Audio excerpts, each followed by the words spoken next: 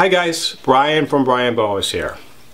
I've seen lots and lots of people get into and out of boa breeding over the years, and unfortunately, the majority of these people were not successful.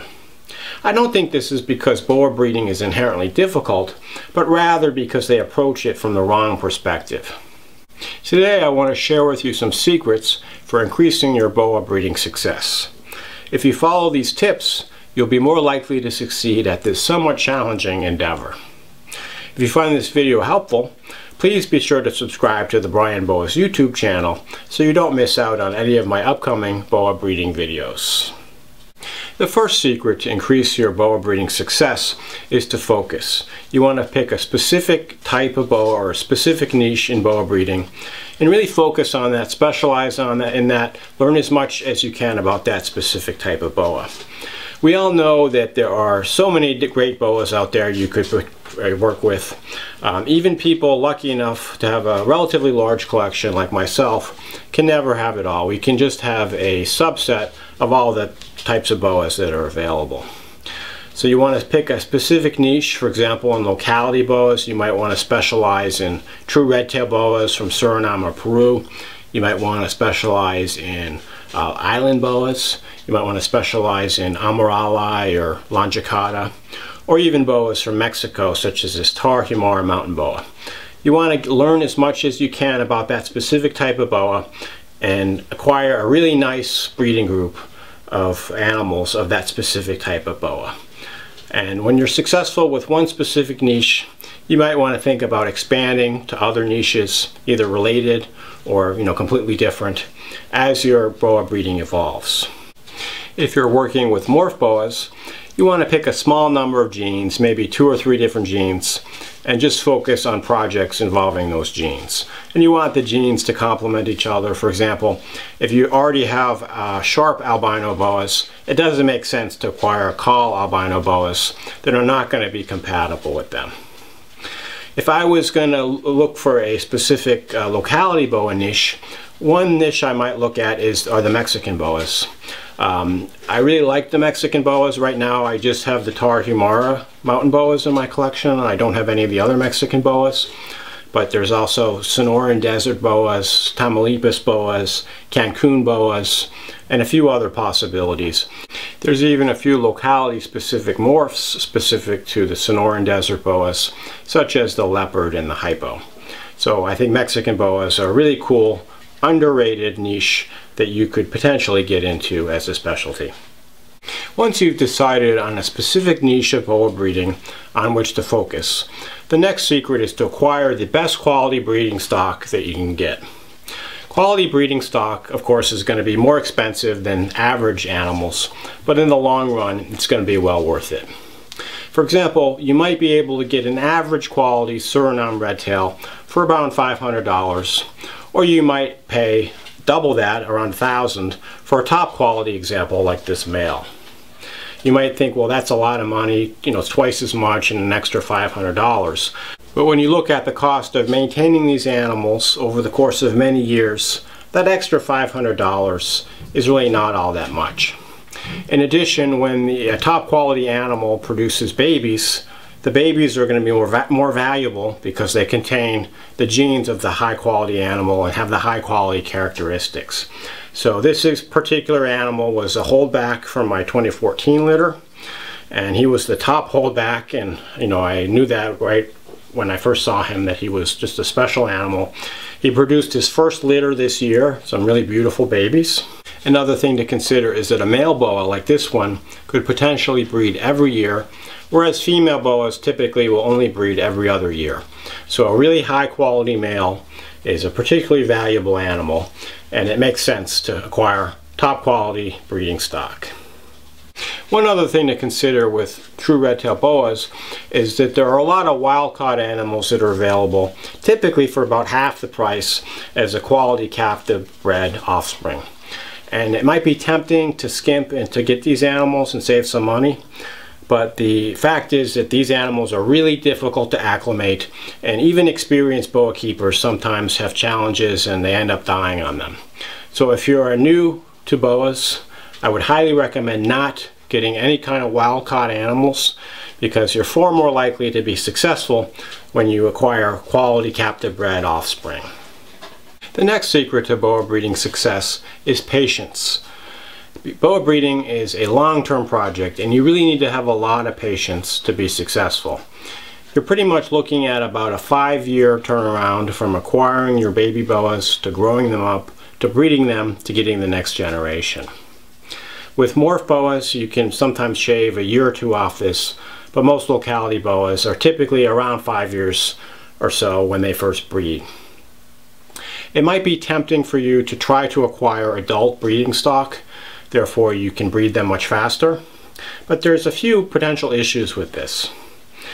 So people who breed boas invest a lot of time into raising up the babies to the adult breeding stock.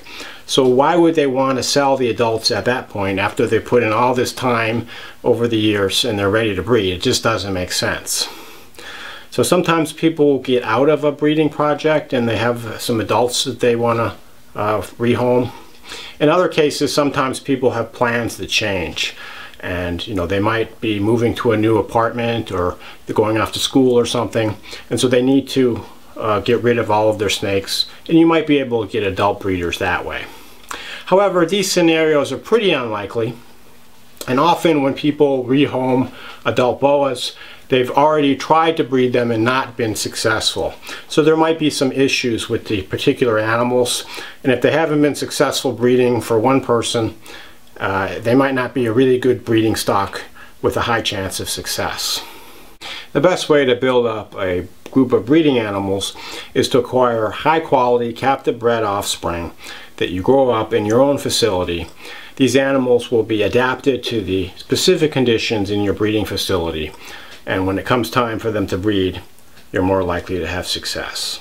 Similar to patience, another secret to boa breeding success is persistence. You really have to stick with it until you're successful. Sometimes the first time you try to breed some boas, it's not going to work. And you just have to try again, maybe mix things up a bit until you ultimately achieve success. I've seen a lot of people who just give up. It doesn't work for them the first time and then that's it. They still just sell off everything and they get out of boas. So this particular animal is a key male. And this guy, when I first got him, I actually got him as an adult, so I kind of violated what I just told you. But sometimes you can get adult breeding stock. I got this from my buddy Michael uh, Beach, and I knew he was a very trustworthy breeder who raises his animals right, so I had no uh, reservation about getting this adult breeder. And this guy, the first time I paired him up with the female, I wasn't successful. But then I repaired him up this year in 2020 and they produced a really nice litter of uh, I think it was 13 or 14 babies. So you can't give up if it doesn't work for you the first time. Try it again next year and hopefully you'll be successful. The next secret to boa breeding success is to stop looking for the magic bullet. So a lot of people are convinced that there's just this one little thing that they need to tweak and if they just get that right, they're going to be completely successful. It might be having the exact right cycling conditions. It might be putting a specific accessory in the cage. It might be a specific feeding regimen or food supplement. But the truth is there's no magic bullet for when it comes to boa breeding.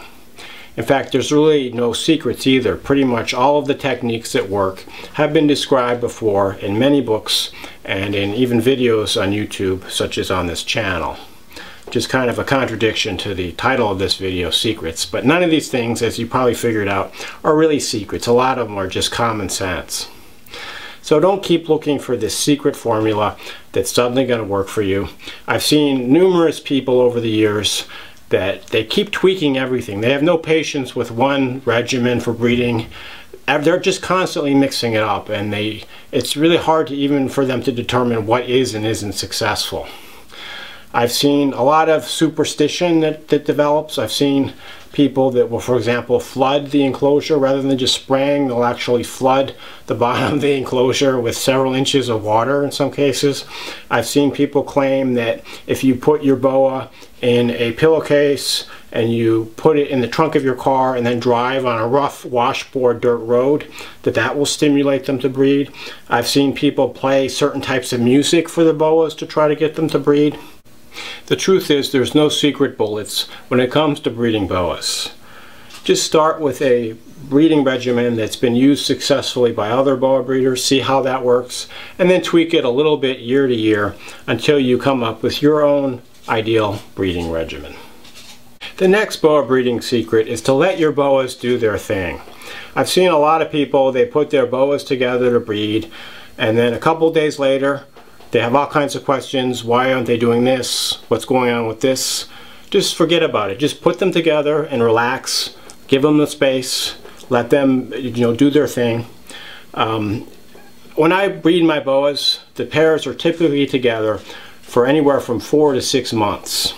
And often I don't see copulation initially, or often I don't see any sign of breeding initially. Sometimes they just have to be together for a while. I've even had situations where I didn't see any signs of breeding for the entire period, but the female still got gravid and had a successful litter.